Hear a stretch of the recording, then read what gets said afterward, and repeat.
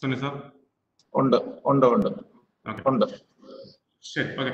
അപ്പൊ നമുക്ക് ഇനി തിരിച്ച് നമ്മളുടെ സോഫ്റ്റ്വെയർ ഡിഫറെന്റ് ഫേസസിലേക്ക് വരും. ഞാനിപ്പോ പറഞ്ഞത് സോഫ്റ്റ്വെയർ കമ്പനിയിലെ ഡിഫറെന്റ് റോൾസിനെ പറ്റിയാണ്. Project manager software architects senior software developers software developers software testers business analyst marketing executives and etcetera ഇത് ഇത് വളരെ മാൻഡേറ്ററി ആയിട്ടൊന്നുമില്ല. നമ്മൾ ഈ കാര്യങ്ങൾക്കൊപ്പം തന്നെ നമ്മൾ ഈ റോളുകൾ നമ്മൾ ഡിസ്കസ് ചെയ്ത് പോകും.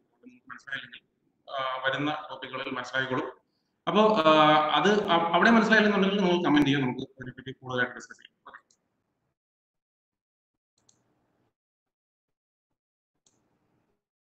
So first we'll uh, coming to the life cycle model.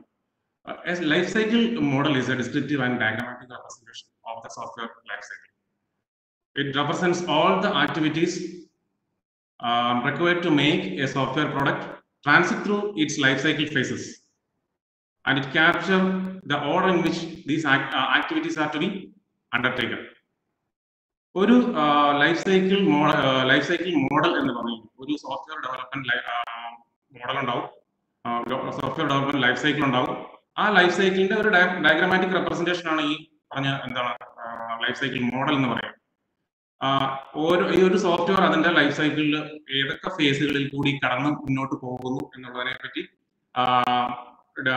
Represent ചെയ്യുന്നതാണ് ഈ പറഞ്ഞ life cycle model okay it captures the order in which these activities to be undertaken ഏത് ഓർഡറിലാണ് ഏത് ഫേസിന് ശേഷമാണ് ഏത് അടുത്ത ഫേസ് ഇങ്ങനെയുള്ള കാര്യങ്ങളെ പറ്റി വളരെ ക്ലിയർ ആയിട്ട് ഒരു ഡയഗ്രമാറ്റിക് റെപ്രസെന്റേഷൻ കൊടുക്കുന്നതാണ് ലൈഫ് സൈക്കിൾ മോഡൽ എന്ന് പറയുന്നത്.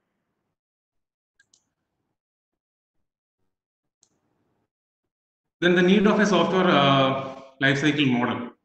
When a software product is being developed by a team, there must be a clear understanding among team members about when and what to do. Otherwise, it would lead to confusion and project failure. ഓരോ project ചെയ്യുമ്പോൾ നമ്മൾ ഒരാളല്ല ഒരു project ചെയ്യുക നമ്മൾ programme ചെയ്യുന്ന പോലെ അല്ല ഒരു പ്രോജക്റ്റ് ചെയ്യുക ഒരു പറ്റം ആൾക്കാർ ഒന്നിച്ച് ചേർന്ന് അത് ഡിപ്പെൻസ് ഓൺ ദ പ്രോജക്റ്റ് അത് രണ്ടോ മൂന്നോ ആളുകൾ മുതൽ നൂറുകണക്കിന് അല്ലെങ്കിൽ ആയിരക്കണക്കിന് ആൾക്കാർ വരെ ഇൻവോൾവ് ചെയ്യുന്ന പ്രോജക്റ്റുകളുണ്ട് അപ്പൊ ഡിപെൻസ് ഓൺ ദ പ്രോജക്ട് നമ്മൾ ഓരോരുത്തരും എന്താണ് ചെയ്യുന്നത് ഐഡിയ കൊടുക്കുന്ന ഈ ഓരോ സോഫ്റ്റ്വെയർ ലൈഫ് സൈക്കിൾ മോഡലിൽ നിന്ന് പ്രോജക്റ്റ് ചെയ്യുമ്പോൾ ഓരോരുത്തർക്ക് ഇപ്പൊ ഡെവലപ്പർ എന്താണ് ചെയ്യുന്നത്? നമ്മൾ എന്താണ് ചെയ്യുന്നത് ചെയ്ത വർക്കാണോ ഇങ്ങനെയുള്ള കാര്യങ്ങൾ വളരെ ക്ലിയർ ആയിട്ടും കറക്റ്റ് ആയിട്ടും റെപ്രസെന്റ് ചെയ്യുന്ന ഈ life cycle മോഡലിലാണ് it identifies the entry and and exit criteria for a phase.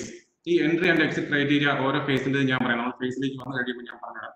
എന്താണ് എൻട്രി ക്രൈറ്റീരിയ എന്താണ് എക്സിറ്റ് ക്രൈറ്റീരിയ സിമ്പിൾ ആയിട്ട് പറഞ്ഞു കഴിഞ്ഞാൽ എപ്പോഴാണ് ഒരു ഫേസ് തുടങ്ങാൻ പറ്റുക? അല്ലെങ്കിൽ എപ്പോഴാണ് ഒരു ഫേസ് നിർത്താൻ പറ്റുക? ഈ രണ്ട് കാര്യങ്ങളാണ് ഇതിനേക്ക് basically entry criteria and exit criteria എന്ന് പറയുന്നത്. Then it helps uh, software project managers to monitor the progress of the project. ഇതൊരു വളരെ ഇമ്പോർട്ടന്റ് ആയിട്ടുള്ള കാര്യമാണ്. മാനേജ്മെന്റ് സൈഡിൽ നിന്ന് നോക്കുമ്പോഴത്തേക്കും ഒരു പ്രോജക്റ്റിന്റെ എന്താണ്? പ്രോഗ്രസ് ഇപ്പൊ നമ്മളൊരു സിവിൽ വർക്കിന്റെ പ്രോഗ്രസ് ആണെങ്കിൽ നമുക്ക് നോക്കിക്കഴിഞ്ഞാൽ മനസ്സിലാവും. ഒരു ബിൽഡിംഗ് കൺസ്ട്രക്ഷൻ നടന്നുകൊണ്ടിരിക്കുകയാണെന്നുണ്ടെങ്കിൽ അതിന്റെ എന്താ പറയാ ആ കൺസ്ട്രക്ഷൻ നമുക്ക് കണ്ടു കഴിഞ്ഞാൽ മനസ്സിലാക്കും എന്തുമാത്രം തീർന്നു ഇനി എന്തുമാത്രം ചെയ്യാനുണ്ട് പക്ഷെ ഒരു സോഫ്റ്റ്വെയർ പ്രോജക്റ്റിനെ സംബന്ധിച്ചിടത്തോളം പ്രത്യേകിച്ച് അത് പലരും കൂടി ചെയ്യുമ്പോഴത്തേക്കും നമുക്ക് അതിനകത്ത് അതിന്റെ ഒരു ഔട്ട്പുട്ട് അല്ലെങ്കിൽ അതിന്റെ ഒരു പ്രോഗ്രസ് കാണിച്ചു കൊടുക്കാനായിട്ട് ഒരു ഒരു ലെവൽ ഉണ്ടാവില്ല. അപ്പൊ അങ്ങനെയുള്ള കാര്യങ്ങൾ നമ്മൾ ഈ ഒരു ഡെവലപ്മെന്റ് ലൈഫ് സൈക്കിൾ മോഡലിൽ നിന്ന് ഏത് ഫേസ് വരെ കംപ്ലീറ്റ് ചെയ്യും നമ്മൾ പല ഫേസ് ആയിട്ട് തിരിച്ചേക്കുന്നുണ്ടല്ലോ. അതിന്റെ എക്സിറ്റ് ക്രൈറ്റീരിയ മീറ്റ് ചെയ്തു. അത് എപ്പോൾ നിർത്താം എന്നുള്ള കണ്ടീഷനിലേക്ക് നമ്മൾ എത്തിയോ? അങ്ങനെയുള്ള കാര്യങ്ങളിൽ അത് ചെക്ക് പോയിന്റ്സ് പോലെ നമ്മൾ വെച്ചിരിക്കുകയാണ്. അത് മീറ്റ് ചെയ്യുന്ന അനുസരിച്ചിട്ടാണ് എന്താ പറയാ ഇത് എക്സിറ്റ് ക്രൈറ്റീരിയ ആയോ എന്ന് പറയാം. ആ എക്സിറ്റ് ക്രൈറ്റീരിയ ആണെങ്കിൽ ആ ഫേസ് കംപ്ലീറ്റ് ആയെന്ന് നമുക്ക് തീരുമാനിക്കാം. പ്രൊജക്ട് മാനേജറിനെ സംബന്ധിച്ചിടത്തോളം അല്ലെങ്കിൽ കമ്പനി മാനേജ്മെന്റിനെ സംബന്ധിച്ചിടത്തോളം അത് നമുക്ക് മനസ്സിലാക്കാൻ പറ്റും. അത് ആ രീതിയിൽ തന്നെ നമുക്ക് അതിന്റെ പ്രോഗ്രസ് മോണിറ്റർ ചെയ്യാൻ പറ്റും. ഒരു സോഫ്റ്റ്വെയറിന്റെ പ്രോഗ്രസ് മോണിറ്റർ ചെയ്യുന്നത് ഈ പറഞ്ഞ സോഫ്റ്റ്വെയർ ലൈഫ് സൈക്കിൾ മോഡലിന്റെ ബേസിലാണ് ഇത്രയാണ് ഒരു സോഫ്റ്റ്വെയർ ഡെവലപ്മെന്റ് ലൈഫ് സൈക്കിളിൽ നടക്കുക ഇനി coming to the different phases of software development life cycle there will be uh, we'll be discussing about six uh, different phases in software development life cycle first one is uh, feasibility study then requirement analysis and uh, specification uh, then design then coding and uh, unit testing then integration and uh, system testing. And the last one is maintenance. ഇതാണ് ആറ് software development life cycle phases first one ഈ ഫിഗറിനകത്ത് നമ്മൾ സാധാരണഗതിയിൽ അല്ലെങ്കിൽ നമ്മൾ പഠിക്കുന്നതും വരുമ്പോഴത്തേക്ക് ഫീസിബിലിറ്റി സ്റ്റഡിയിലേക്ക് നമ്മൾ ഒരു ഡീറ്റെയിൽഡ് അപ്രോച്ചിലേക്ക് പോകുന്നില്ല. അതുകൊണ്ടാണ് അതിനകത്ത് ഫിഗറിനകത്ത് വരാത്തത്.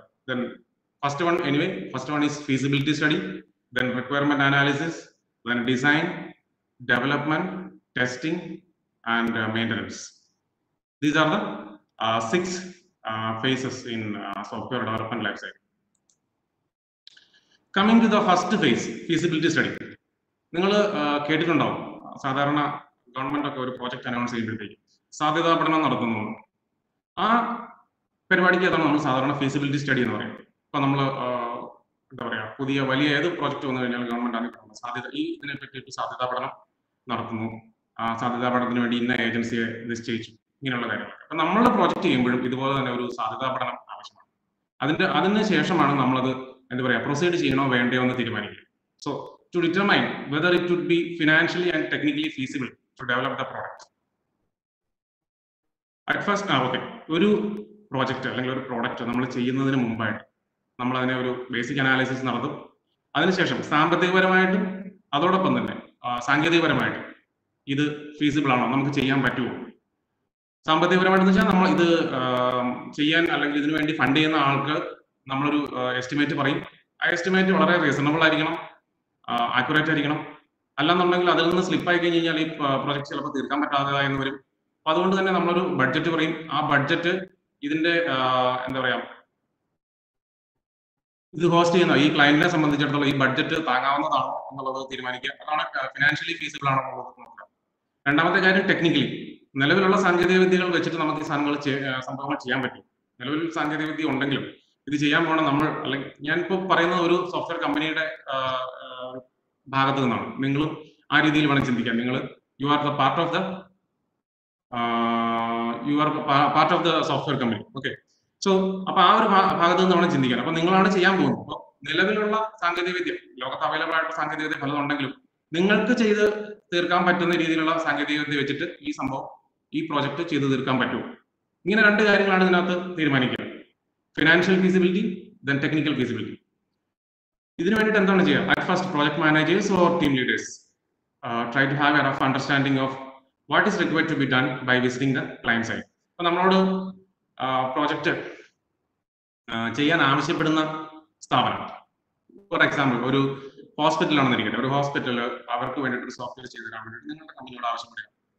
So as part of the feasibility study project managers or the senior team leaders they will visit the client site Client എന്ന് പറഞ്ഞു കഴിഞ്ഞാൽ ഈ കേസിൽ ഹോസ്പിറ്റലാണ് ഹോസ്പിറ്റലിൽ സന്ദർശിക്കുന്നു.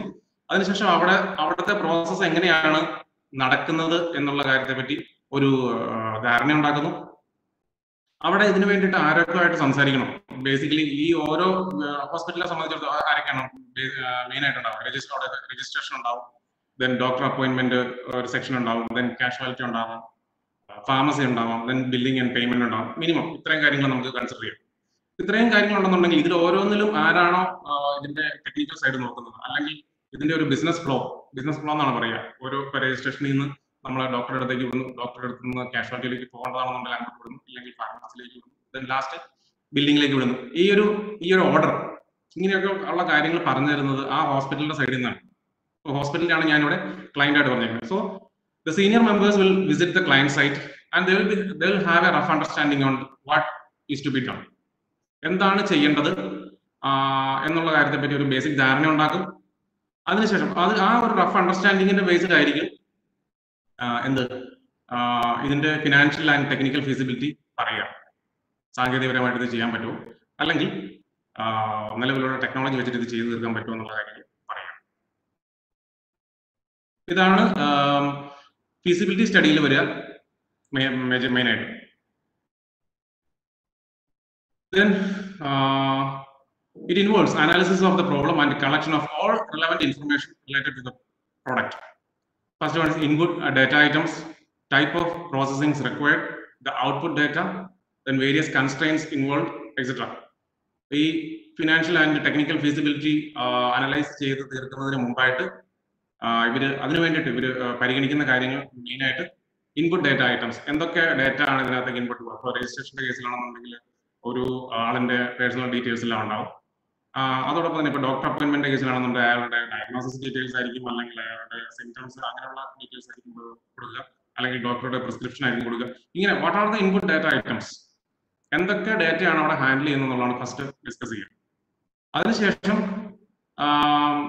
അടുത്തതായിട്ട് നോക്കുക. ടൈപ്പ് ഓഫ് പ്രോസസ്സിംഗ് റിക്വയർഡ് ഓരോ ഡേറ്റയിലും എന്തൊക്കെ പ്രോസസ്സിംഗ് ആണ്? നടക്കുക ഈ ഡേറ്റ തീർച്ചയായിട്ടും സ്റ്റോർ ചെയ്യുന്നുണ്ടാവും. അതിനുശേഷം അത് പലതരത്തിലുള്ള പ്രോസസ്സിംഗ് നടത്തുന്നുണ്ടാവും. പലതരം റിപ്പോർട്ടിംഗ് ചെയ്യുന്നുണ്ടാവും. ഒരുപക്ഷെ പലതരം അനാലിസിസിന്റെ അടിസ്ഥാനത്തിൽ ഒരു കൺക്ലൂഷനോ അല്ലെങ്കിൽ ഒരു നെക്സ്റ്റ് പ്രോസസ്സോ ഡിഫൈൻ ചെയ്യുന്നുണ്ടോ ഇങ്ങനെ ഓരോരോ കാര്യങ്ങളും ഈ ഡാറ്റയുടെ ബേസിൽ നടന്നുള്ളൂ. അപ്പോൾ first input data items define ചെയ്യുന്നു. ദെൻ എന്താണ്? Type of processing required for each of this data items ഇത് കൺസിഡർ ചെയ്യുന്നു. അതിനുശേഷം പിന്നെ നോക്കുന്നത് ഔട്ട്പുട്ട് ഡാറ്റ ഔട്ട് എന്തൊക്കെ ഡാറ്റയാണ് ഇതിനകത്ത് ഔട്ട്പുട്ട് വരിക? അല്ലെങ്കിൽ എന്തൊക്കെയാണ് ഇതിനകത്ത് ബേസിക്കലി റിപ്പോർട്ടിംഗ് നടത്തുക റിപ്പോർട്ട്സ് അങ്ങനെയുള്ള കാര്യങ്ങളൊക്കെയാണ് ഇതിനകത്ത് വരിക. ദെൻ വേരിയസ് കൺസ്ട്രെയിൻസ് ഇൻവോൾവ് ഇത് ചെയ്തു തീർക്കുന്നതിന് മറ്റെന്തെങ്കിലും തടസ്സങ്ങളോ അല്ലെങ്കിൽ ഇത് ചെയ്ത് ചെയ്യുന്നതിന് നമ്മൾ എന്തെങ്കിലും ഇഷ്യൂസ് ഫേസ് ചെയ്യാൻ സാധ്യതയുണ്ട്? എന്തെങ്കിലും തടസ്സങ്ങൾ ഇതിനകത്ത് നേരിടേണ്ടി വരും അങ്ങനെയുള്ള കാര്യങ്ങളാണ് ഈ വേരിയസ് കൺസ്ട്രെയിൻസ് എന്ന് വെച്ച് ഉദ്ദേശിക്കുന്നത്. ഇങ്ങനെയുള്ള കാര്യങ്ങളെല്ലാം പരിഗണിച്ചതിന് ശേഷമാണ് ഫിനാൻഷ്യൽ ആൻഡ് ടെക്നിക്കൽ ഫീസിബിലിറ്റി പറയുന്നുണ്ടാവുക.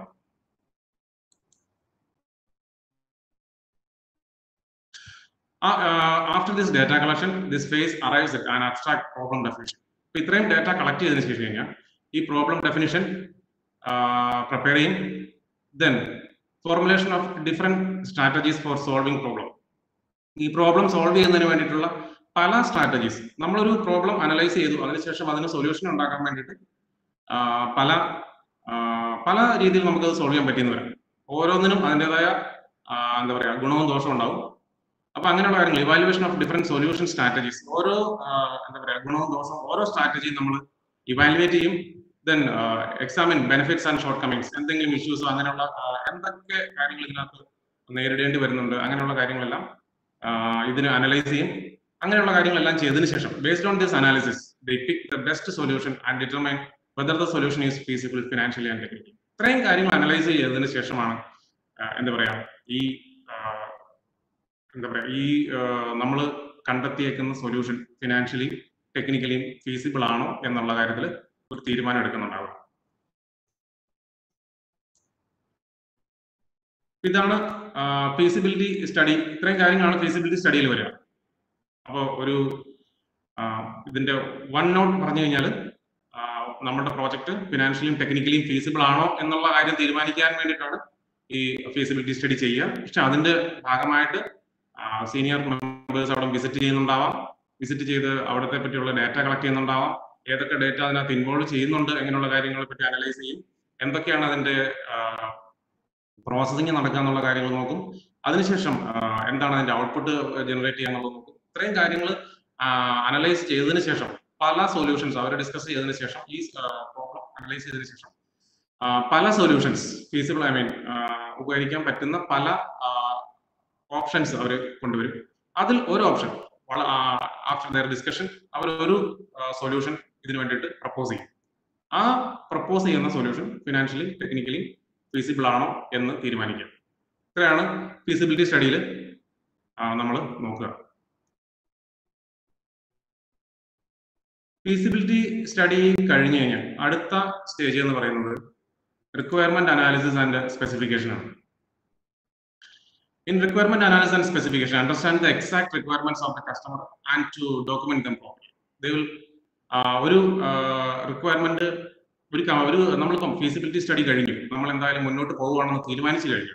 അടുത്ത പരിപാടി എന്ന് പറയുന്നതാണ് റിക്വയർമെന്റ് അനാലിസിസ് ആൻഡ് സ്പെസിഫിക്കേഷൻ ആ പ്രോബ്ലത്തെ പറ്റിയുള്ള കംപ്ലീറ്റ് ഇൻപുട്ട് ഈ റിക്വയർമെന്റ് അനാലിസിസ് ആൻഡ് സ്പെസിഫിക്കേഷൻ ടൈമിലാണ് നമ്മൾ കളക്ട് ചെയ്യുന്നത്.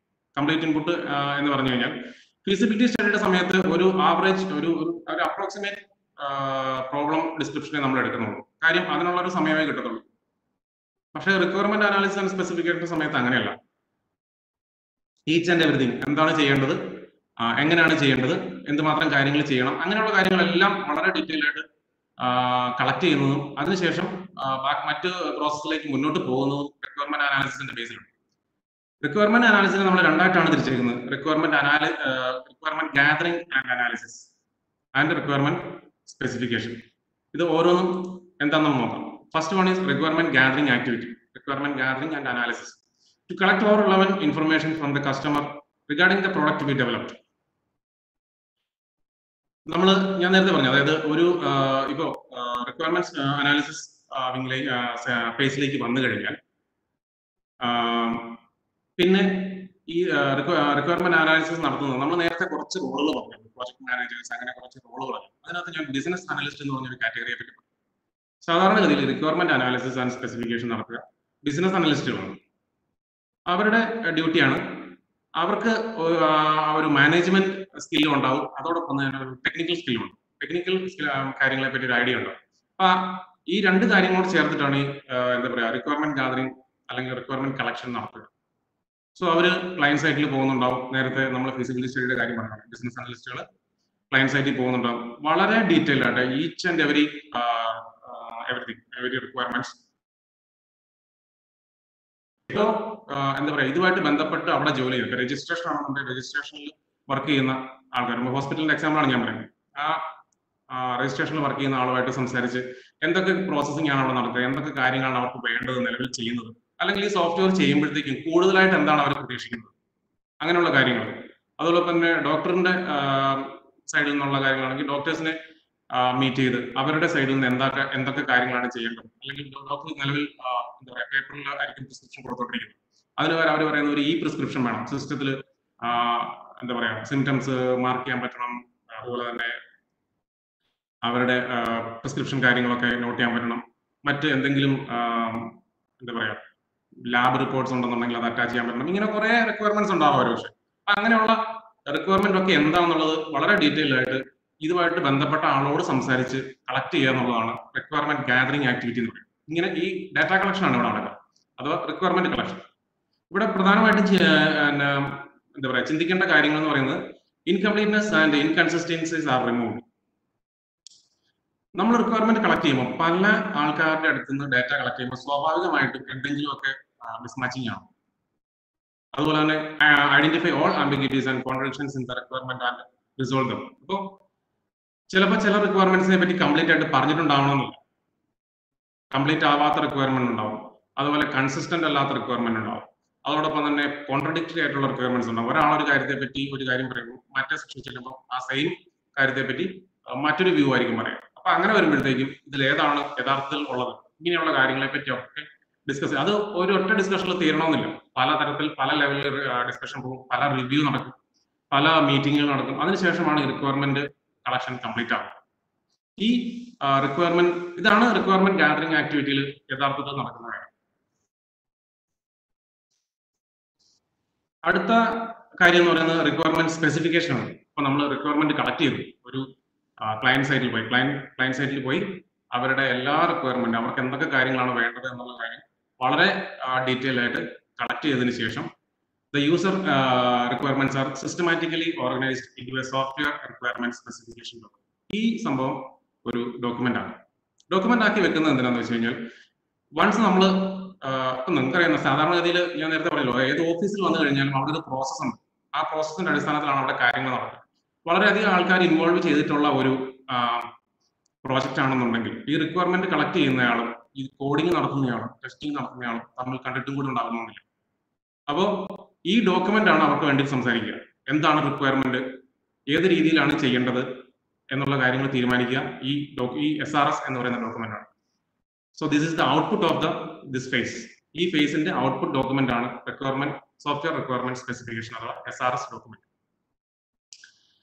once ഇത് ഈ ഡോക്യുമെന്റ് പ്രിപ്പയർ ചെയ്ത് കഴിഞ്ഞാൽ ഈ റിക്വയർമെന്റ് സ്പെസിഫിക്കേഷനകത്ത് പറയുന്ന കാര്യങ്ങൾ ഈ ഡോക്യുമെന്റ് പ്രിപ്പയർ ചെയ്യുകയും അതുപോലെ തന്നെ ensuring what have been specified in the S R S are complete and S R S is of good quality ഈ എസ് ആർ എസ് കംപ്ലീറ്റ് ആണെന്നും ഈ എസ് ആർ എസ് ഒരു good quality S R S ആണെന്ന് ensure ചെയ്യുക എന്നുള്ളതാണ് requirement validation അത് requirement specification സെക്ഷന്റെ അകത്തുള്ള രണ്ട് കാര്യങ്ങളാണ് എസ് ആർ എസ് പ്രിപ്പറേഷനും അതുപോലെ തന്നെ എസ് ആർ എസിന്റെ വാലിഡേഷൻ വാലിഡേഷൻ എന്ന് പറഞ്ഞു കഴിഞ്ഞാൽ ആ ഡോക്യുമെന്റ് റിവ്യൂ ചെയ്യും.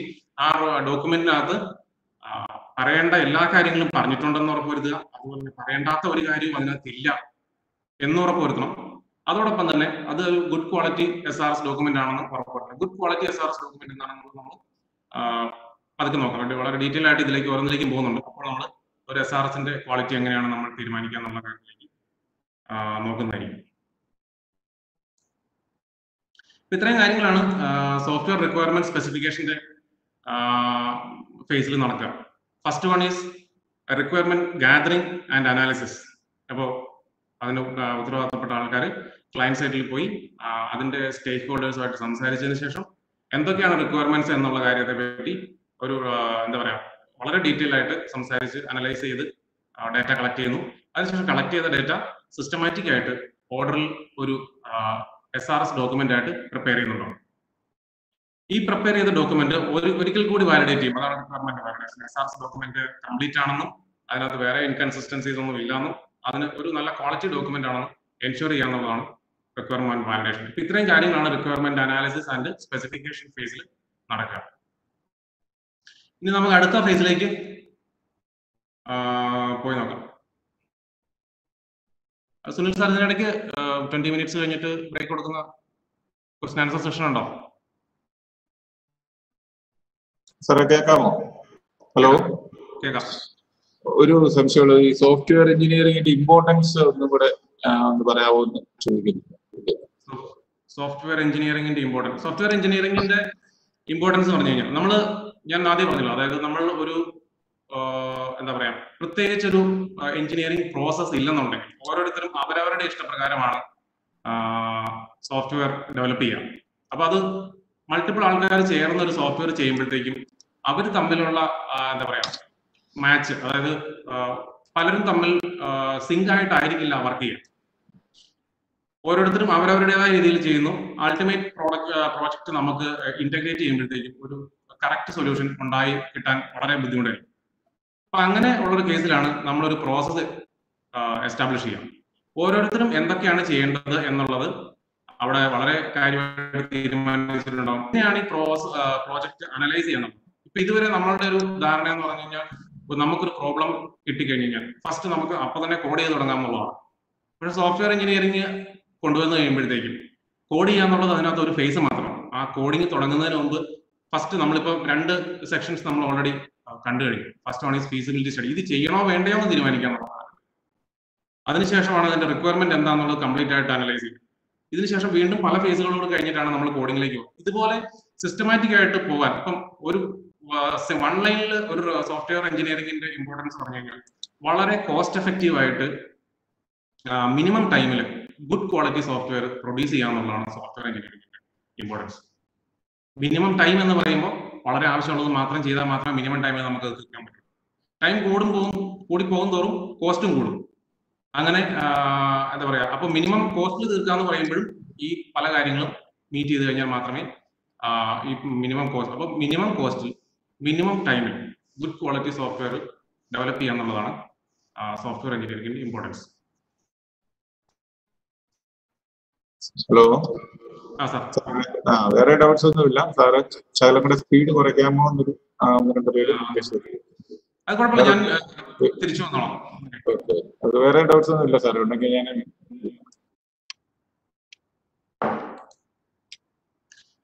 ഓക്കെ അങ്ങനെയാണെന്നുണ്ടെങ്കിൽ നമുക്ക് അടുത്ത ഫേസിലേക്ക് പോകാം. അപ്പൊ നമ്മൾ ഫീസിബിലിറ്റി സ്റ്റഡി നോക്കിക്കഴിഞ്ഞു. അതോടൊപ്പം തന്നെ requirement analysis and specification phase നോക്കിക്കഴിഞ്ഞു. രണ്ട് ഫേസ് നമ്മൾ നോക്കും. അടുത്ത ഫേസ് എന്ന് പറയുന്നത് ഡിസൈൻ ഫേസ് ആണ്. ഡിസൈൻ ഫേസിൽ ഞാൻ കമ്പനിയിലെ സോഫ്റ്റ്വെയർ കമ്പനിയിലുള്ള പല റോളുകൾ പറഞ്ഞപ്പം ഒരു റോൾ ഞാൻ പറഞ്ഞിട്ടുണ്ട് ആർക്കിടെക്ട്സ് എന്ന് പറയുന്നത് അപ്പൊ ആർക്കിടെക്ട്സ് ആണ് ബേസിക്കലി ഡിസൈൻ കാര്യങ്ങൾ കൂടുതലായിട്ട് നോക്കുക.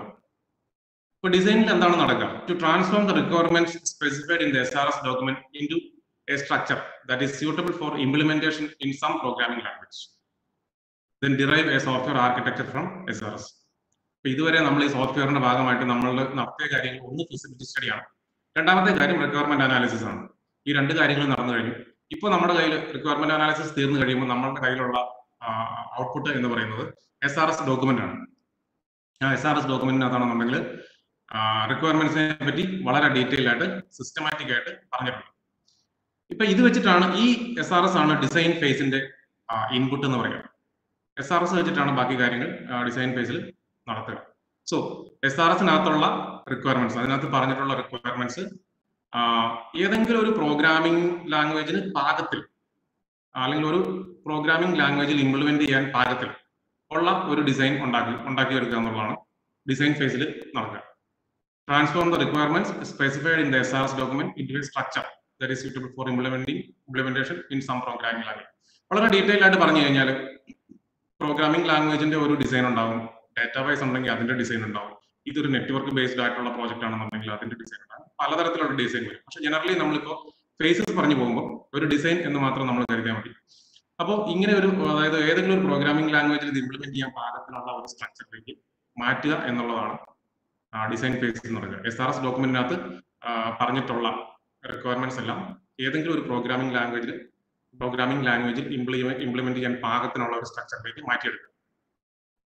അപ്പൊ ഈ ഒരു ഫേസ് ചെയ്ത് കഴിയുമ്പോഴത്തേക്ക് ഉണ്ടാകുന്ന നമ്മൾ ഡെവലപ്പ് ചെയ്യുന്ന ഔട്ട്പുട്ട് എന്ന് പറയുന്നതാണ് software architecture document software architecture എന്നാണ് പറയുന്നത് ഈ എസ് ആർ എസിൽ നിന്നും സോഫ്റ്റ്വെയർ ആർക്കിടെക്ചർ പ്രിപ്പയർ ചെയ്യാന്നുള്ളതാണ് ഈ ഡിസൈൻ ഫേസിൽ നടക്കുന്നത് ഇപ്പൊ രണ്ട് ഇതാണ് ഇപ്പൊ ഡിസൈൻ ഫേസിൽ നടക്കുക ഇപ്പൊ രണ്ട് അപ്രോച്ചാണ് ഇതിനകത്ത് ചെയ്യാൻ പോകുന്നത്. ഡിസൈൻ ഫേസിന് വേണ്ടിയിട്ട് രണ്ട് അപ്രോച്ചാണ് നടക്കുക. First one is traditional design approach and second one is object oriented design approach object oriented നിങ്ങൾ കേട്ടിട്ടുണ്ടോ? ഒബ്ജക്ട് ഓറിയന്റഡ് പ്രോഗ്രാമിംഗ് ലാംഗ്വേജ് ഉണ്ട്. അതല്ലാത്ത പ്രോഗ്രാമിംഗ് ലാംഗ്വേജ് ഉണ്ട്. സാധാരണ നമ്മുടെ കൺവെൻഷണൽ പ്രോഗ്രാമിംഗ് ലാംഗ്വേജ് അതിന് വേണ്ടിയിട്ടാണ് നമ്മളുടെ ട്രഡീഷണൽ ഡിസൈൻ അപ്രോച്ച് ഉപയോഗിക്കുക. Consist of two different activities structured analysis of the S R S is carried out and the detailed structure of the problem is examined ഒരു detailed structure basically എന്താണെന്ന് വെച്ച് കഴിഞ്ഞാൽ നമ്മൾ ഒരു പ്രോബ്ലം ഈ പ്രോബ്ലത്തിന്റെ ഒരു design വരുമ്പോഴത്തേക്കും നമ്മൾ ഡി എഫ് ഡി പ്രിപ്പയർ ചെയ്യുന്നുണ്ടാവും. അല്ലെങ്കിൽ ഡി എഫ് ഡി എന്ന് വെച്ചാൽ ഡാറ്റ ഫ്ലോ ഡയഗ്രാം എങ്ങനെ എന്താണ് ഇൻപുട്ട് ഡാറ്റാസ് ഡാറ്റ എങ്ങനെയാണ് ഒരു സിസ്റ്റത്തിൽ ഫ്ലോ ചെയ്യുക? ഇൻപുട്ട് ഡാറ്റ എന്താണ്? എന്തൊക്കെയാണ്? അതിൽ എന്തൊക്കെ തരം പ്രോസസ്സിങ്ങുകളാണ് നടത്തുക? എന്തൊക്കെ തരം ഔട്ട്പുട്ടുകൾ അതിനകത്ത് ഇങ്ങനെയുള്ള കാര്യങ്ങളൊക്കെയാണ് ഇതിനകത്ത് പറയുന്നത്. സ്ട്രക്ചർഡ് അനാലിസിസ് നടത്തി അതിൽ നിന്ന് ഒരു ഡീറ്റെയിൽ സ്ട്രക്ചർ പ്രിപ്പയർ ചെയ്യുന്നുണ്ടാവും. The result of structured analysis are transform in software design ഈ ഒരു സംഭവം ഡീറ്റെയിൽ സ്ട്രക്ചർ ഒരു സോഫ്റ്റ്വെയർ ഡിസൈനിലേക്ക് എത്തിക്കുകയാണ് ചെയ്യുന്നത്. അതിന് പല മെത്തേഡ്സും പല ടൂൾസും ഉണ്ടാവും. ആ ടൂൾസ് ഒക്കെ ഉപയോഗിച്ചിട്ടാണ് നമ്മൾ അല്ലെങ്കിൽ പല മെത്തേഡ്സ് ഉണ്ടാവും. ആ മെത്തേഡ്സ് ഉപയോഗിച്ചിട്ടാണ് നമ്മൾ ഈ ഒരു ഡിസൈൻ പ്രിപ്പയർ ചെയ്ത് ഉണ്ടാക്കിയെടുക്കുക. ബേസിക്കലി ഞാൻ പറഞ്ഞല്ലോ ഡാറ്റ ഫ്ലോ ഡയഗ്രാം അതിനകത്തൊരു ബെസ്റ്റ് എക്സാമ്പിൾ ആണ്. അല്ലെങ്കിൽ നിങ്ങൾ നിങ്ങൾക്ക് മനസ്സിലാകാൻ പാകത്തിന് പറയുകയാണെന്നുണ്ടെങ്കിൽ നമ്മൾ ഫ്ലോ ചാർട്ട്സ് വരയ്ക്കുന്നുണ്ട് വളരെ സിമ്പിൾ ആയിട്ട് പറഞ്ഞു കഴിഞ്ഞാൽ ഇൻപുട്ട് എന്താണ്? ഏതൊക്കെ ഫേസ് വഴിയാണ് അത് കടന്നു പോവുക? ഓരോ ഇൻപുട്ടും ഓരോ ഫേസിലും സ്റ്റേജസ് വരുമ്പോൾ എന്തൊക്കെ പ്രോസസ്സിംഗ് ആണ് അതിനകത്ത് നടക്കുക? ഇങ്ങനെയുള്ള കാര്യങ്ങൾ വളരെ ഡീറ്റെയിൽ ആയിട്ട് സ്പെസിഫൈ ചെയ്യുന്നുണ്ടാവും നമ്മുടെ ഡിസൈൻ ഡോക്യുമെന്റ് അത് അപ്പൊ ഇതിനകത്ത് ഇത് ഇതാണ് ഡിസൈൻ ഫേസിൽ നടക്കുക. ഇനി ഒബ്ജക്ട് ഓറിയന്റഡ് ഡിസൈൻ അപ്രോച്ചിലേക്ക് വന്നു കഴിഞ്ഞാൽ in this technique various objects that occur in the problem domain and solution domain are identified first എന്തൊക്കെ ഓബ്ജക്ട്സ് ആണ് ഇതിലേക്ക് ഇൻവോൾവ് ആകുക എന്നുള്ളത് ഫസ്റ്റ് നമ്മൾ മനസ്സിലാക്കണം. Then different relationship that exist among these objects are identified the object structure is further defined to obtain the detail design first നമ്മൾ ഓബ്ജക്ട്സിനെ identify ചെയ്യുന്നു. ഈ അല്ലെങ്കിൽ ഈ പ്രോജക്റ്റ് ചെയ്യാൻ വേണ്ടി ഏതൊക്കെ ഓബ്ജക്ട്സ് ആണ് വേണ്ടതെന്നുള്ളത് ഐഡന്റിഫൈ ചെയ്യുന്നു. അതിനുശേഷം ഈ ഓബ്ജക്ട്സ് തമ്മിലുള്ള റിലേഷൻഷിപ്പ് തീരുമാനിക്കുന്നു. അതിന്റെ അടിസ്ഥാനത്തിലാണ് ഇവിടെ നമ്മൾ ഈ ഡാറ്റ ഫ്ലോ ഡയഗ്രാം അല്ലെന്നുണ്ടെങ്കിൽ മറ്റ് മെത്തേഡ് വഴി ഇതിനെ ഒരു സ്ട്രക്ചർ പ്രിപ്പയർ ചെയ്യാം അപ്പോൾ ഈ രണ്ട് അപ്രോച്ചാണ് നമ്മൾ സാധാരണഗതിയിൽ സോഫ്റ്റ്വെയർ ഡിസൈനിൽ ഉപയോഗിക്കുക. First one is traditional design approach and then second one is object oriented design approach Robin സാറേ ഈ റിക്വയർമെന്റ് ഗ്യാതറിംഗ് ആക്ടിവിറ്റി ഒന്നും കൂടെ പറഞ്ഞു കൊടുക്കാവുന്ന ചോദിക്കുന്നു. Requirement gathering and specification requirement gathering activity എന്താണെന്നുള്ള ഒന്ന് പറയാമോ? കേട്ടില്ല ഒന്നുകൂടെ പറയാം റിക്വയർമെന്റ് ഗ്യാതറിംഗ് ആക്ടിവിറ്റി എന്താണെന്നുള്ളത് കുട്ടികളൊന്ന് ചോദിക്കുന്നുണ്ട് ചില ഒന്നുകൂടെ പറയാമോ റിക്വയർമെന്റ് ഗാദറിംഗ് റിക്വയർമെന്റ് ഗാദറിംഗിനുള്ളിൽ നമ്മൾ നടക്കുന്നത്. അതായത് റിക്വയർമെന്റ് അനാലിസിസ് ആൻഡ് സ്പെസിഫിക്കേഷൻ സെക്ഷന്റെ ഫസ്റ്റ് പാർട്ടാണ് റിക്വയർമെന്റ് ഗാദറിംഗ് റിക്വയർമെന്റ് ഗാദറിംഗിനകത്ത് നടക്കുന്നത് പരമാവധി റിക്വയർമെന്റ്സ് നമുക്ക് ചെയ്യേണ്ട പ്രോജക്റ്റിനെ പറ്റി മാക്സിമം റിക്വയർമെന്റ്സ് കളക്ട് ചെയ്യുക എന്നുള്ളതാണ് റിക്വയർമെന്റ് ഗാദറിംഗ് നടക്കുക സിമ്പിൾ ആയിട്ട് പറയുന്നത്. ഞാനൊരു ഹോസ്പിറ്റലിന്റെ എക്സാമ്പിൾ പറഞ്ഞിരുന്നു. അപ്പോൾ അവിടെ ഈ സോഫ്റ്റ്വെയർ നമ്മൾ ഉണ്ടാക്കുന്ന സോഫ്റ്റ്വെയർ ഉപയോഗിക്കാൻ പോകുന്നത് ആരൊക്കെയാണ്? അല്ലെങ്കിൽ ഏതൊക്കെ ഗ്രൂപ്പ് ഓഫ് ആൾക്കാരാണ്? അവരൊക്കെ ആയിട്ട് കോണ്ടാക്ട് ചെയ്ത് എന്താണ് ഈ സോഫ്റ്റ്വെയറിനകത്ത് വേണ്ടത്? അല്ലെങ്കിൽ എന്തൊക്കെയാണ് അവർ ഇതിനകത്ത് നിന്ന് പ്രതീക്ഷിക്കുന്നത്? അവരുടെ പ്രോസസ്സ് എന്താണ്? പ്രോസസ് മീൻസ് അവർ ഏത് രീതിയിലാണ് ഇപ്പോൾ ആ കാര്യങ്ങൾ ചെയ്തുകൊണ്ടിരിക്കുന്നത്?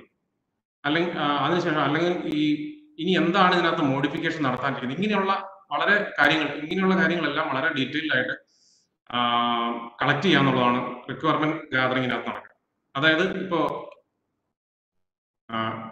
ഒരു സോഫ്റ്റ്വെയറിനെ സംബന്ധിച്ചിടത്തോളം ഒരു ലോഗിൻ സ്ക്രീൻ ഉണ്ട്. ലോഗിന്റെ അകത്ത് നമ്മൾ ഇതാണ് ഒരു അതിന്റെ റിക്വയർമെന്റ് എന്ന് പറയുന്നത്. ലോഗിന്റെ അകത്ത് നമ്മൾ യൂസർ നെയിം കൊടുക്കുന്നുണ്ടാവും പാസ്വേഡ് കൊടുക്കുന്നുണ്ടാവും പിന്നെ ഓക്കെ ക്യാൻസൽ ഈ രണ്ട് ബട്ടൺ ഇങ്ങനെയുള്ള കാര്യങ്ങളാണ് നമ്മൾ കൊടുക്കുന്നത്. ഒരു റിക്വയർമെന്റ് പേജ് ഒരു ലോഗിൻ പേജ് നമ്മൾ പ്രിപ്പയർ ചെയ്ത് കഴിഞ്ഞാൽ ഈ ഇത്രയും കാര്യങ്ങളാണ് നമ്മൾ അതിന്റെ റിക്വയർമെന്റ് എന്ന് പറയാം.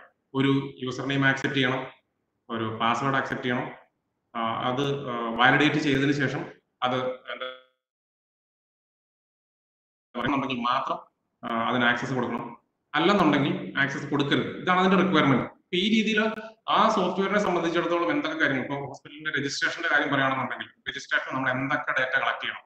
ഒരാളുടെ പേര് ഡേറ്റ് ഓഫ് ബർത്ത് അയാളുടെ അഡ്രസ്സ് ഫോൺ നമ്പർ അങ്ങനെ മിനിമം കാര്യങ്ങൾ അത്രയെങ്കിലും.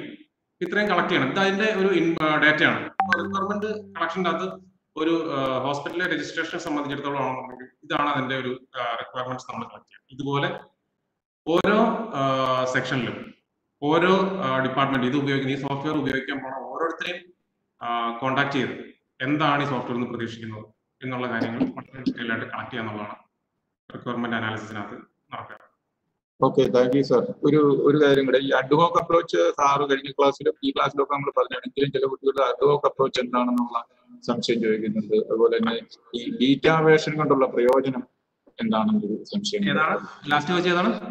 ബീറ്റാ വേർഷൻ കൊണ്ടുള്ള പ്രയോജനം എന്താണ് ചോദിക്കുന്നത് ചില ബീറ്റ വേർഷൻ സോഫ്റ്റ്വെയർ ഒക്കെ നമ്മൾ റിലീസ് ചെയ്യും ബീറ്റാ വേർഷൻസ് ബീറ്റ വേർഷനിലേക്ക് നമ്മൾ പറയും. നമ്മൾ ലാസ്റ്റത്തെ ഫേസ് ആകുമ്പോഴത്തേക്കും പറയും. അപ്പോൾ നമുക്ക് അപ്പോൾ ഡിസ്കസ് ചെയ്തിട്ട് പറയാം.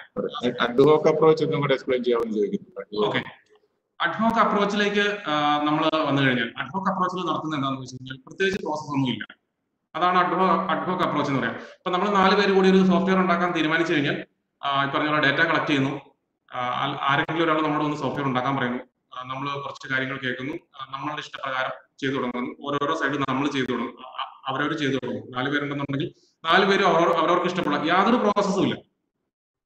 അതിനകത്ത് യാതൊരു എന്താ പറയാ മാനദണ്ഡങ്ങളും ഇല്ല. അവരവരെ ഉണ്ടാക്കുന്നു ലാസ്റ്റ് ഈ സംഭവങ്ങൾ എല്ലാം കൂടെ കൂടി ചേർക്കുമ്പോൾ ചേരണമെന്ന് വലിയ നിർബന്ധമില്ല അപ്പൊ അങ്ങനെയുള്ള അതൊക്കെയാണ് അതിന്റെ ഡ്രോബാക്കുകൾ അപ്പോൾ ഇതാണ് അതിന്റെ അഡ്വോക്ക് അപ്രോച്ച് എന്ന് പറയാം.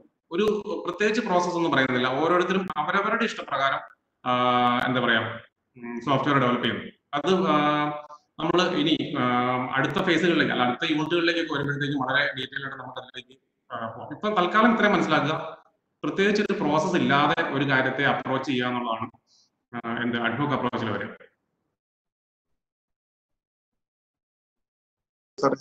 എസ് ആർ എസ് എന്താണെന്ന് ചോദിക്കുന്നുണ്ട് എസ് ആർ എസ് എന്ന് പറഞ്ഞു കഴിഞ്ഞാൽ നമ്മൾ software requirement analysis and design ഫേസിന്റെ sorry requirement analysis and specification ഫേസിന്റെ output എന്ന് വേണമെങ്കിൽ പറയാം അതായത് ആ ഫേസ് തീരുന്നത് ഒരു S R S sign off ചെയ്യുമ്പോഴാണ്. എന്ന് വെച്ച് കഴിഞ്ഞാൽ നമ്മൾ റിക്വയർമെന്റ്സ് എല്ലാം കളക്ട് ചെയ്തു. റിക്വയർമെന്റ്സ് കളക്ട് ചെയ്തതിന് ശേഷം ഈ കളക്ട് ചെയ്ത റിക്വയർമെന്റ്സ് ഒരു ഓർഡർ ഉണ്ട്. ഒരു ഓർഡറിൽ നമ്മൾ അല്ലെങ്കിൽ എസ് ആർ എസിന് ഒരു ജനറൽ സ്ട്രക്ചർ ഉണ്ട്. ആ സ്ട്രക്ചറിൽ ഒരു ഒരു എസ് ആർ എസ് എന്ന് പറയുന്ന ഒരു ഡോക്യുമെന്റ് പ്രിപ്പയർ ചെയ്യും ഈ പറയുന്ന റിക്വയർമെന്റ്സ് എല്ലാം മെൻഷൻ ചെയ്തിട്ടുള്ള ഒരു S R S document prepare ചെയ്യും ഇതിനകത്ത് ആ സോഫ്റ്റ്വെയറിൽ എന്തൊക്കെ കാര്യങ്ങൾ ചെയ്യണം എന്നുള്ളതിനെ പറ്റി വളരെ ഡീറ്റെയിൽ ആയിട്ടുള്ള വളരെ ഡീറ്റെയിൽ ആയിട്ട് അതിനകത്ത് പ്രതിപാദിച്ചിട്ടുണ്ടാവും. അത് അതിന്റെ അടിസ്ഥാനത്തിലാണ് മുന്നോട്ട് എല്ലാ എല്ലാ കാര്യങ്ങളും. അതായത് ഈ requirement S R S document proper അല്ലെന്നുണ്ടെങ്കിൽ പിന്നെ പിന്നീട് വരുന്ന സോഫ്റ്റ്വെയർ ഡെവലപ്മെന്റ് ഫേസുകളിലെല്ലാം അതിന്റെതായ പോരായ്മ ആ, അതുകൊണ്ട് തന്നെ ഈ S R S document proper ആയിരിക്കണം.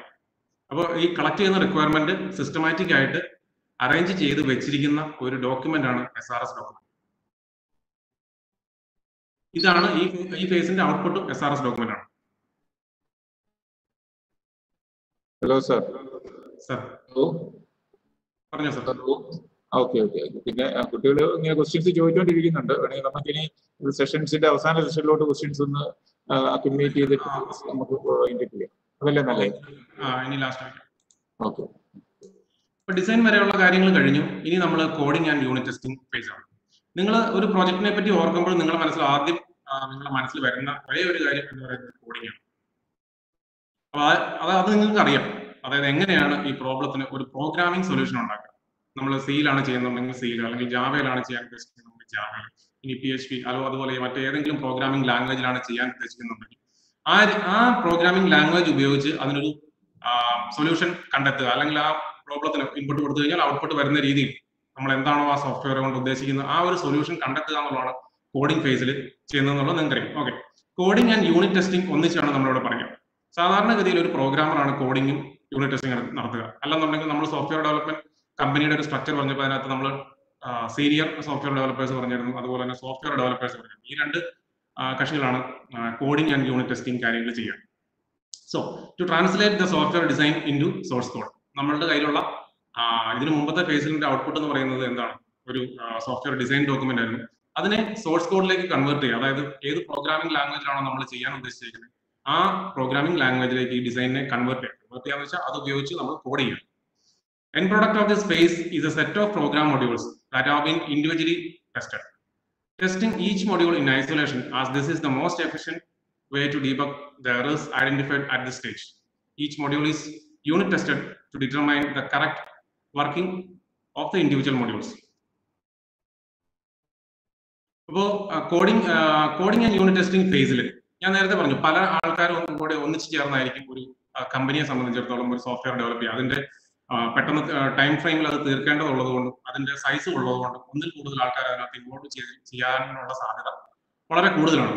അപ്പൊ അതുകൊണ്ട് തന്നെ ഓരോരുത്തർക്കും ഓരോ ഏരിയ അല്ലെങ്കിൽ ഓരോ മൊഡ്യൂൾ കൊടുത്തിട്ടുണ്ടാവും. കോഡ് ചെയ്യാൻ വേണ്ടിയിട്ട്. അപ്പൊ അങ്ങനെ ഓരോരുത്തർക്കും കിട്ടിയേക്കുന്ന അല്ലെങ്കിൽ ഓരോരുത്തരും ചെയ്യുന്ന ആ സോഫ്റ്റ്വെയർ ഏരിയയെ നമുക്ക് ഓരോ മൊഡ്യൂൾ എന്ന് വിളിക്കും. അപ്പം ഒരാൾ ചെയ്യുന്നത് ഒരു മൊഡ്യൂളാണ് അങ്ങനെ ഓരോരുത്തരും ചെയ്യുന്ന മൊഡ്യൂൾസ് പ്രോഗ്രാമിംഗ് ലാംഗ്വേജിൽ കംപ്ലീറ്റ് ചെയ്യുക എന്ന് വെച്ച് കഴിഞ്ഞാൽ കോഡ് ചെയ്ത് കംപ്ലീറ്റ് ചെയ്യുക അതിനുശേഷം അത് തനിച്ച് റൺ ചെയ്ത് നോക്കുക. അത് തനിച്ച് റൺ ചെയ്ത് നോക്കുന്നതിനാണ് യൂണിറ്റ് ടെസ്റ്റിംഗ് എന്ന് പറയുന്നത് സോ നമ്മൾ നമുക്ക് കിട്ടിയേക്കുന്ന ആ ഭാഗം കോഡ് ചെയ്ത് തീർത്തു. അതിനുശേഷം അത് നന്നായിട്ട് വർക്ക് ചെയ്യുന്നുണ്ടോ എന്ന് ഉറപ്പ് വരുത്തുക എന്നുള്ളതാണ് യൂണിറ്റ് ടെസ്റ്റിംഗ് എന്ന് പറയുന്നത് അത് ചെയ്യുന്നത് ഡെവലപ്പർ തന്നെയാണ് ഒരു ടെസ്റ്റർ അല്ല. ഇങ്ങനെ ഇതാണ് ഐസൊലേഷൻ എന്ന് പറഞ്ഞിരിക്കുന്നത്. മറ്റ് മൊഡ്യൂളുകളായിട്ട് തമ്മിൽ കണക്ട് ചെയ്യാതെ. നമ്മൾ ഞാൻ ഡെവലപ്പ് ചെയ്ത ആ സോഫ്റ്റ്വെയറിന്റെ ആ പാർട്ട് ഞാൻ തന്നെ റൺ ചെയ്ത് നോക്കുക. എന്തെങ്കിലും ഇഷ്യൂസ് ഉണ്ടെങ്കിൽ നമ്മൾ അതിനെ ഫിക്സ് ചെയ്യുന്നു. ഈ ഒരു എന്താ പറയാ ആക്ടിവിറ്റിയാണ് നമ്മൾ കോഡിംഗ് ആൻഡ് യൂണിറ്റ് ടെസ്റ്റിംഗ് ഫേസിൽ വരിക. ഇത് ചെയ്ത് ചെയ്ത് തീർന്നതിന് ശേഷം ഇത് ചെയ്ത് തീർന്നതെന്ന് നമ്മൾ ഉറപ്പുവരുത്തുന്നു അതായത് ഈ ഓരോ ഇൻഡിവിജ്വൽ മോഡ്യൂൾസും ഓരോരുത്തരുടെയും ഇൻഡിവിജ്വൽ മോഡ്യൂൾസ് ഇൻഡിവിജ്വലി നന്നായിട്ട് വർക്ക് ചെയ്യുന്നുണ്ട് എന്ന് ഉറപ്പുവരുത്തി കഴിഞ്ഞാൽ ഈ ഒരു ഫേസ് തീർന്നു നമുക്ക് പറയാം. Coding and unit testing coding എന്ന് പറയുന്ന ആക്ടിവിറ്റി നമ്മളൊരു മാനേജ്മെന്റ് ആക്ടിവിറ്റി അല്ല. അതൊരു പ്രോഗ്രാമിംഗ് ആക്ടിവിറ്റി നിങ്ങൾക്ക് അതിനെപ്പറ്റി കൂടുതൽ അറിയുകയും ചെയ്യും. നമ്മൾ പ്രോജക്ട് മാനേജ്മെന്റിനകത്ത് സംബന്ധിച്ചിടത്തോളം കോഡിങ്ങിന് കോഡിങ്ങിനെ മാനേജ് ചെയ്യുക എന്നുള്ള കാര്യം മാത്രമേ അതിനകത്ത് വരുന്നുള്ളൂ. മറ്റ് ഫേസുകൾ എന്ന് പറഞ്ഞാൽ കൂടുതലും മാനേജ്മെന്റ് ആക്ടിവിറ്റീസ് ആണ്. നമ്മൾ ഈ പറഞ്ഞ ഫീസിബിലിറ്റി അനാലിസിസ് റിക്വയർമെന്റ് ഡിസൈൻ അങ്ങനെയുള്ള കാര്യങ്ങളെല്ലാം മാനേജ്മെന്റ് ആക്ടിവിറ്റീസ് കൂടുതൽ ഇൻവോൾവ്മെന്റ് ഉള്ളതാണ്. കോഡിംഗ് എന്ന് പറയുന്നത് കൂടുതലും ആ പ്രോഗ്രാമിംഗ് ആക്ടിവിറ്റിയാണ് അതിനെ മാനേജ് ചെയ്യാൻ എന്ന് മാത്രമേ ഇതിനകത്തേക്ക് വരുള്ളൂ ഓരോ ഇൻഡിവിജ്വൽ മോഡ്യൂൾസും പ്രോപ്പർ ആയിട്ട് വർക്ക് ചെയ്യുന്നുണ്ട് എന്ന് ഉറപ്പുവരുത്തുക എന്നുള്ളതാണ് കോഡിംഗ് ആൻഡ് യൂണിറ്റ് ടെസ്റ്റിംഗ് ഫേസിൽ നടക്കുക. അപ്പോൾ കോഡിംഗ് ആൻഡ് യൂണിറ്റ് ടെസ്റ്റിംഗ് കഴിഞ്ഞതിന് കഴിഞ്ഞ് കഴിഞ്ഞ അടുത്ത ഫേസ് എന്ന് പറയുന്നത് ഇന്റഗ്രേഷൻ ആൻഡ് സിസ്റ്റം ടെസ്റ്റിംഗ് ആണ്. ആക്ച്വൽ ടെസ്റ്റിംഗ് നടക്കുന്നത് ഇവിടെയാണ്. ഒരു ടെസ്റ്ററിന്റെ ടെസ്റ്റിംഗ് നടക്കുന്നത് ഈ ഈ ഫേസിലാണ് integration of different modules is undertaken once they have been coded and unit tested. During each integration step, the partially integrated system is tested and a set of previously planned modules are added to it to ensure that the developed system conforms to its requirement laid out in the SRS document. Integration എങ്ങനെ നടക്കും ഇപ്പൊ നമ്മൾ മുമ്പ് പറഞ്ഞ അതായത് coding and unit testing ഫേസിൽ നമ്മൾ പറഞ്ഞ കാര്യം എന്താണെന്ന് വെച്ച് കഴിഞ്ഞാൽ ഓരോരുത്തരും അവരവർക്ക് കിട്ടിയേക്കുന്ന മൊഡ്യൂൾസ് പ്രോപ്പറായിട്ട് കോഡ് ചെയ്ത് അല്ലെങ്കിൽ പ്രോഗ്രാം കംപ്ലീറ്റ് ചെയ്ത് അത് ടെസ്റ്റ് ചെയ്ത് അത് പ്രോപ്പറായിട്ട് വർക്ക് ചെയ്യുന്നുണ്ടെന്ന് ഉറപ്പുവരുത്തിയിട്ടുണ്ട്. അതാണ് കോഡിംഗ് ആൻഡ് യൂണിറ്റ് ടെസ്റ്റിംഗ് ഫേസിൽ നടക്കുക. ഇങ്ങനെ ഒരു നൂറ് പേര് ഇൻവോൾവ് ചെയ്തിട്ടുള്ള ഒരു പ്രോജക്റ്റ് ആണെന്നുണ്ടെങ്കിൽ നൂറ് പേരുടെയും ഇൻഡിപെൻഡന്റ് മോഡ്യൂൾസ് റെഡി ആയിട്ടുണ്ടാവും. അത് റെഡി ആയതിനു ശേഷം ഇതിനെ കൂട്ടിച്ചേർത്ത് ഒറ്റ സോഫ്റ്റ്വെയർ ആക്കുന്ന ആ പ്രോസസ്സാണ് ഇന്റഗ്രേഷൻ നടക്കുക. അങ്ങനെ ഒറ്റ ആക്കിയ ശേഷം നടത്തുന്ന ടെസ്റ്റിംഗ് ആണ് സിസ്റ്റം ടെസ്റ്റിംഗ് എന്ന് പറയാം ഒരൊറ്റ കംപ്ലീറ്റ് സിസ്റ്റം ആക്കിയതിന് ശേഷമുള്ള ടെസ്റ്റിംഗ് ആണ് സിസ്റ്റം ടെസ്റ്റിംഗ് എന്ന് പറയാം ഇന്റഗ്രേഷൻ ടെസ്റ്റിംഗ് നടക്കുന്ന നൂറ് പേര് ചേർന്നാണ് ഈ സോഫ്റ്റ്വെയർ ചെയ്തെന്നുണ്ടെങ്കിൽ നൂറ് മൊഡ്യൂളുകൂടെ ഒന്നിച്ച് അറ്റ് എ ടൈം ഒന്നിച്ച് ഇന്റഗ്രേറ്റ് ചെയ്യുക ചെയ്യുകയല്ല ചെയ്യുക. ഒരു പല ബ്രിക്സ് ചേർത്ത് വെക്കുന്ന പോലെ ഒരു പ്രോസസ് അല്ല. അതിന് പകരം അങ്ങനെ ചെയ്താൽ ചില അങ്ങനെ ചെയ്യാം അങ്ങനെ ചെയ്താൽ പല ഡ്രോബാക്സ് ഉണ്ട്. അതിന് പകരം നമ്മൾ ചെയ്യുന്നത് എന്താണെന്ന് വെച്ച് കഴിഞ്ഞാൽ ഒരു വളരെ കുറച്ച് ഏറ്റവും കോർ ആയിട്ടുള്ള മൊഡ്യൂൾസ് ഒന്നോ രണ്ടോ മോഡ്യൂൾസ് ഇന്റഗ്രേറ്റ് ചെയ്യുന്നു. അതിനുശേഷം അത് ടെസ്റ്റ് ചെയ്യുന്നു. അതാണ് ഇന്റഗ്രേഷൻ ടെസ്റ്റിംഗ് എന്ന് പറയുന്നത്. വളരെ അതൊരു പാർഷ്യൽ ഇന്റഗ്രേഷൻ പാർഷ്യൽ ഇന്റഗ്രേഷൻ നടത്തിയതിനു ശേഷം അതിനെ ടെസ്റ്റ് ചെയ്യുന്നു. അതാണ് ഇന്റഗ്രേഷൻ ടെസ്റ്റിംഗ് അത് അതിനകത്ത് ചില ഇഷ്യൂസ് നമ്മൾ കണ്ടുപിടിക്കുന്നുണ്ടാവും. കണ്ടുപിടിച്ച ഇഷ്യൂസ് ഫിക്സ് ചെയ്യുന്നുണ്ടാവും. ആ ഫിക്സ് ചെയ്തതിനു ശേഷം അത് ഓക്കെ ആണെന്ന് മനസ്സിലായതിനു ശേഷം അടുത്ത സെറ്റ് ഓഫ് മോഡ്യൂൾസ് അതിലേക്ക് ആഡ് ചെയ്യും. ആദ്യം കുറച്ച് കോർ ഐറ്റംസ് നമ്മൾ ചെയ്തിട്ടുണ്ടാവും. അതിനുശേഷം അതിലേക്ക് കൂടുതൽ ഐ മീൻ അതിന്റെ കുറച്ചുകൂടി മൊഡ്യൂൾസ് അതിലേക്ക് ആഡ് ചെയ്യും. വീണ്ടും ടെസ്റ്റ് ചെയ്യും. ഇന്റഗ്രേഷൻ ടെസ്റ്റിംഗിന്റെ അടുത്ത റൗണ്ട് ഇതിന് ഇൻക്രിമെന്റൽ ഇന്റഗ്രേഷൻ ടെസ്റ്റിംഗ് എന്നാണ് പറയുന്നത്. ഇങ്ങനെ കുറേശ്ശെ കുറേശ്ശെ മൊഡ്യൂൾസ് ആഡ് ചെയ്ത് ടെസ്റ്റ് ചെയ്ത് ആഡ് ചെയ്ത് ടെസ്റ്റ് ചെയ്ത് അങ്ങനെയാണ് മുന്നോട്ട് പോകുക അങ്ങനെയാണ് ഈ നൂറ് മൊഡ്യൂൾ ഉണ്ടെന്നുണ്ടെങ്കിൽ നമ്മൾ എട്ടോ പത്തോ ഫേസ് ആയിട്ടായിരിക്കും. അല്ലെങ്കിൽ എട്ടോ പത്തോ എന്താ പറയുക ഇന്റഗ്രേഷൻ ആയിട്ടായിരിക്കും അതിനെ കംപ്ലീറ്റ് ചെയ്യുക. ഇതാണ് ഇന്റഗ്രേഷൻ ഇന്റഗ്രേഷന്റെ സമയത്ത് നടക്കുക അല്ലാതെ എല്ലാ മൊഡ്യൂൾസും കൂടെ ഒന്നിച്ച് ഇന്റഗ്രേറ്റ് ചെയ്യുക അല്ല ചെയ്യുക. അങ്ങനെ ചെയ്യാം. അങ്ങനെ ചെയ്തു കഴിഞ്ഞാൽ വളരെയധികം ഡിഫക്റ്റുകൾ ഒന്നിച്ച് റിവീൽ ചെയ്യപ്പെടും. അത് എവിടുന്നാണ് അതിന്റെ സോഴ്സ് എന്നുള്ളത് നമുക്ക് കണ്ടുപിടിക്കാൻ പറ്റത്തില്ല. അത് വളരെ വളരെ എന്താ പറയാ ഭീകരമായ ഒരു ആക്ടിവിറ്റിയിലേക്ക്. അതുകൊണ്ടാണ് വളരെ കുറേശ്ശെ കുറേശ്ശെ എന്താ പറയാ പ്രോപ്പറായിട്ട് ടെസ്റ്റ് ചെയ്ത് ടെസ്റ്റ് ചെയ്ത് നമ്മൾ ആഡ് ചെയ്തത്. ഇതാണ് ഇന്റഗ്രേഷന്റെ സമയത്ത് നടക്കുക. സിസ്റ്റം ടെസ്റ്റിംഗിന്റെ സമയത്ത് നടക്കുക. ഈ ഇന്റഗ്രേഷൻ എല്ലാം തീർന്നതിന് ശേഷം complete system as a whole ഇത് പ്രോപ്പറായിട്ട് വർക്ക് ചെയ്യുന്നുണ്ട് എന്ന് ഉറപ്പുവരുത്തുക എന്നുള്ളതാണ് സിസ്റ്റം ടെസ്റ്റിംഗ് ഈ രണ്ട് കാര്യങ്ങളും ടെസ്റ്റ് ചെയ്യുന്നത് നമ്മൾ ആദ്യം അതായത് S R S requirement specification സമയത്ത് പ്രിപ്പയർ ചെയ്ത ഒരു ഡോക്യുമെന്റ് ഉണ്ടല്ലോ എസ് ആർ എസ് ഡോക്യുമെന്റ് അതിന് അഗേൻസ്റ്റ് ആയിട്ടാണ് ടെസ്റ്റ് ചെയ്യുക. അതിൽ പറഞ്ഞേക്കുന്ന ഓരോ കാര്യങ്ങളും അങ്ങനെ തന്നെ ഇതിനകത്ത് ഉണ്ട് എന്ന് ഉറപ്പ് വരുത്തുക എന്നുള്ളതാണ് ഈ പറഞ്ഞ ഇന്റഗ്രേഷൻ ആൻഡ് സിസ്റ്റം ടെസ്റ്റിംഗിന്റെ സമയത്ത് അതിന്റെ ഒരു ലക്ഷ്യം.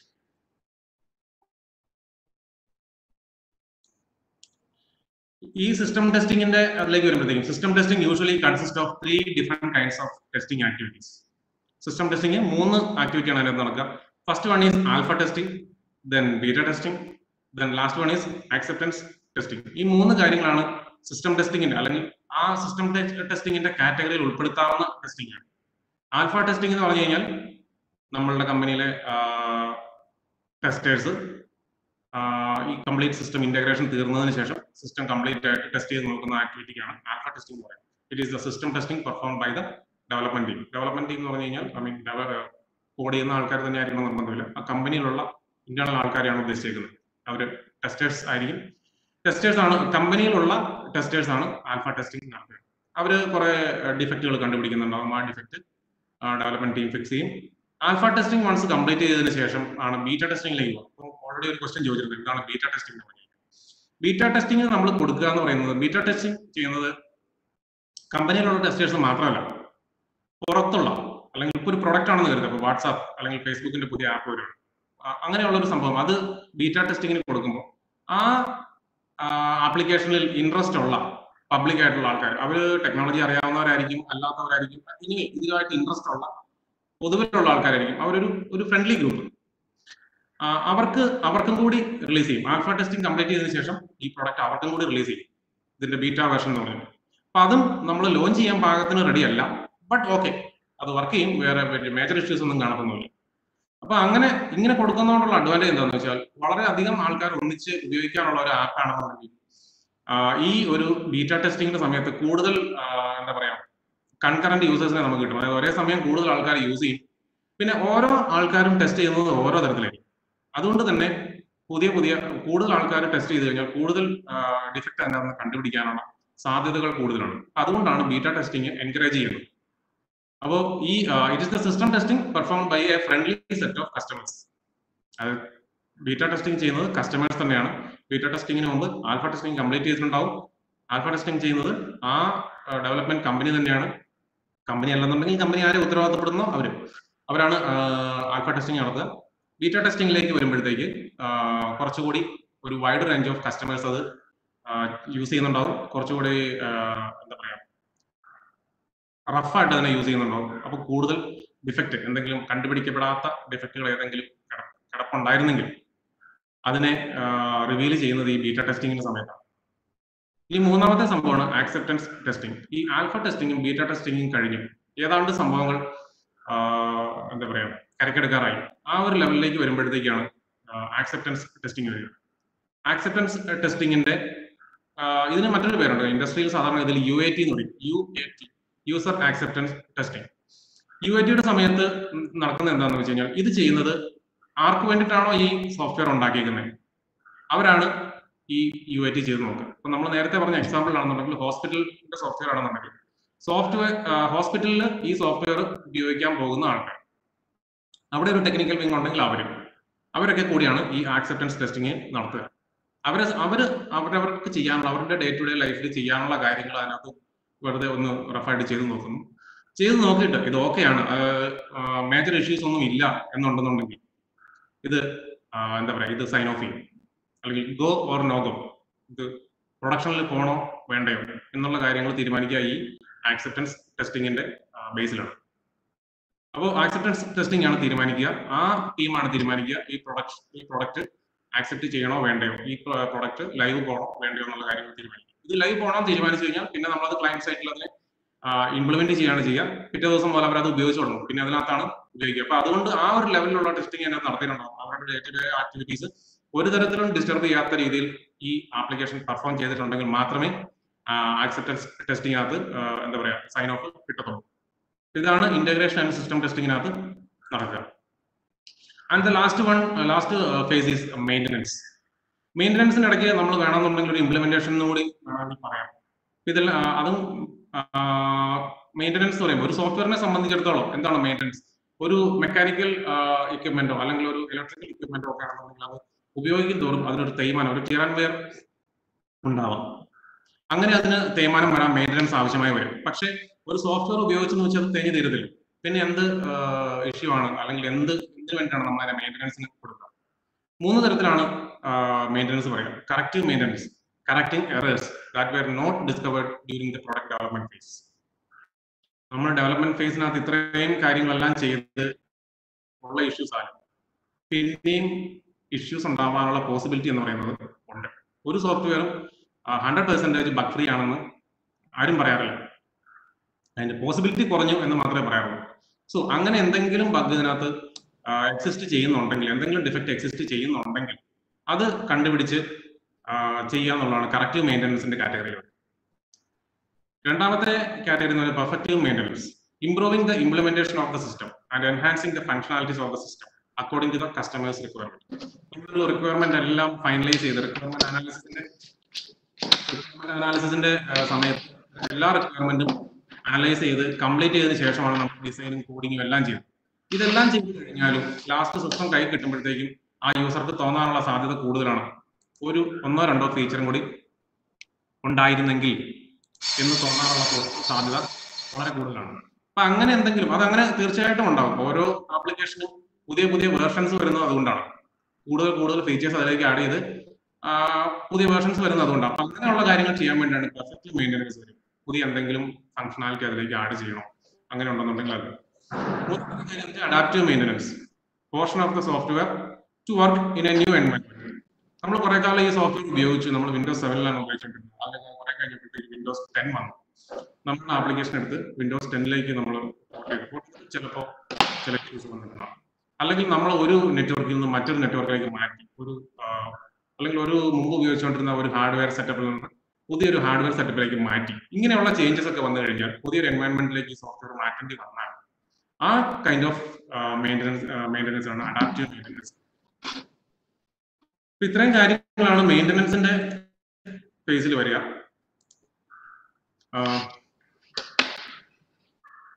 അപ്പൊ നമ്മൾ എല്ലാ ഫേസും പറഞ്ഞു കഴിഞ്ഞു. Feasibility study requirement analysis and specification design coding and unit testing integration and system testing, uh, then maintenance. Hello? Hello? Hello? ഇനിയുള്ളത് നമ്മൾ ലൈഫ് സൈക്കിൾ മോഡൽസ് ആണ് നമ്മൾ ജസ്റ്റ് അതിനെ ഒന്ന് ഇൻട്രൊഡ്യൂസ് ചെയ്യാം നമ്മളിപ്പോ different phases of software development life cycle പറഞ്ഞു അതിനുശേഷം നമ്മൾ ഇൻഡസ്ട്രിയുടെ അനിവാര്യതയൊക്കെ ബേസ് ചെയ്ത് കുറെ അധികം തരത്തിലുള്ള software development development life cycle establish ചെയ്യപ്പെട്ടിട്ടുണ്ട്. ഹലോ. സാറേ. ഹലോ റോബിൻ സാറേ. നമ്മുടെ സമയം മൈൻഡ് അപ്പ് ചെയ്തുകൊണ്ടിരിക്കുകയാണ്. നാൽപ്പത്തേഴായി നമുക്ക് കുറച്ച് സംശയങ്ങളും ഒക്കെ ഉണ്ട്. നമുക്കൊന്ന് ക്ലോസ് ചെയ്തതിനെ കുറിച്ച് ആലോചിക്കാം. ഓക്കെ അങ്ങനെയാണെന്നുണ്ടെങ്കിൽ ഇത് മോഡൽസ് അത്രയ്ക്ക് ഇമ്പോർട്ടന്റ് ആയിട്ടുള്ളതല്ല. ഇത് വേണമെന്നുണ്ടെങ്കിൽ നമുക്ക് അടുത്ത സെഷനിലേക്ക് വിടാവുന്നുള്ളൂ ക്വസ്റ്റ്യൻസ് എടുക്കാം ഹലോ ക്വസ്റ്റ്യൻസ് എടുക്കാം സാറേ. ഓക്കെ സാറേ.